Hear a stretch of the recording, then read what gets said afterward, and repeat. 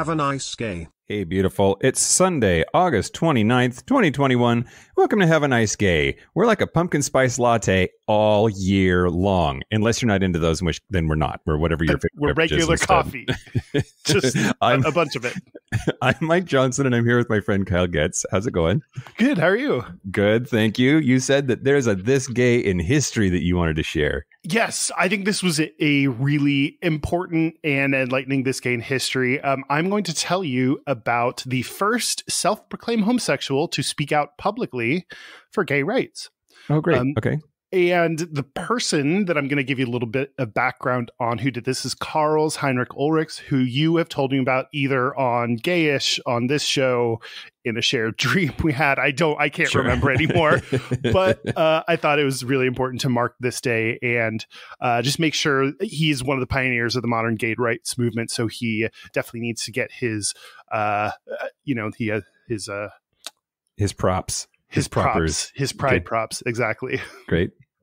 Um, so he was born in 1825 uh, in Europe, in what would now be uh, Germany. Um, he uh, among lots of things, uh, he's best known for the writing that he did uh, throughout his career. He wrote uh, 12 books on gay rights.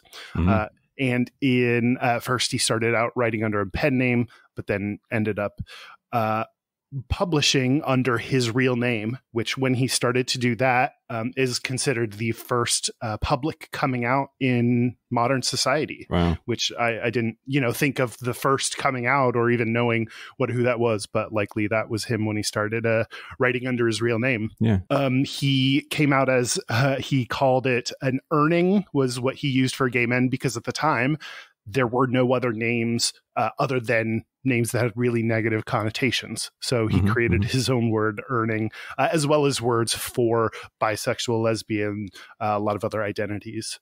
Yeah. Yeah. Um, Okay. When when he came out, he was uh, arrested. He was often in trouble for his writing, and people tried to destroy his writing.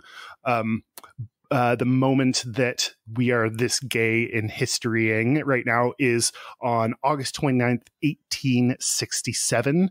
Um, he uh, spoke out publicly in defense of homosexuality when he urged the repeal of anti homosexuality laws at the Congress of German Jurists in Munich Wow.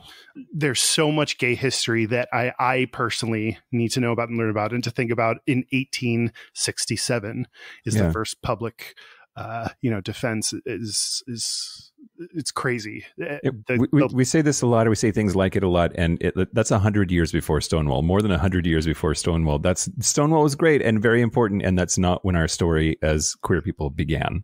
Yeah, absolutely, absolutely.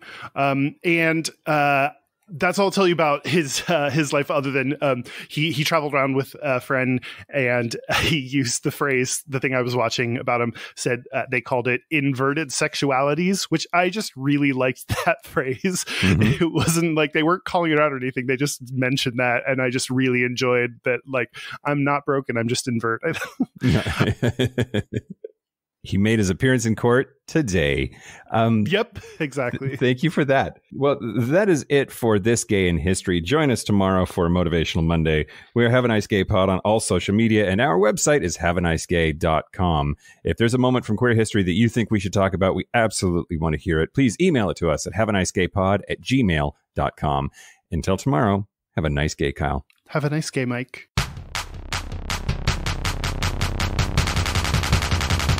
Have a nice gay.